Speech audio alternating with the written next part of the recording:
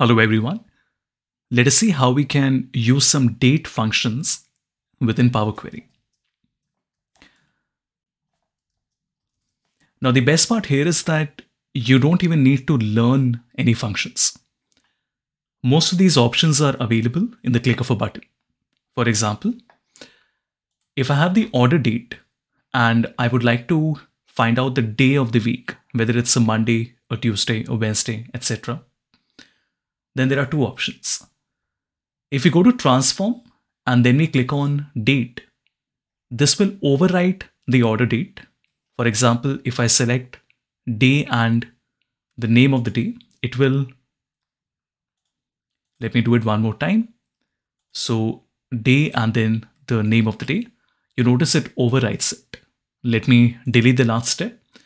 If you want to retain the original order date column and you want to create a new one, then we can go to add column and we do the same thing, date, and then we say day, and then we say the name of day.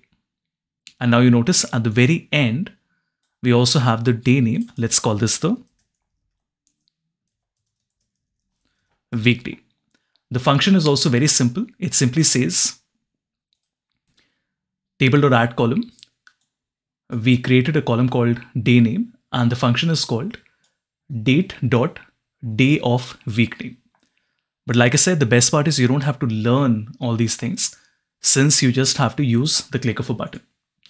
And if you see the other options that are available here, there are quite a few options. So we have the age, the date, the year, start of year, end of year, then some month options, quarter, week, and day options as well.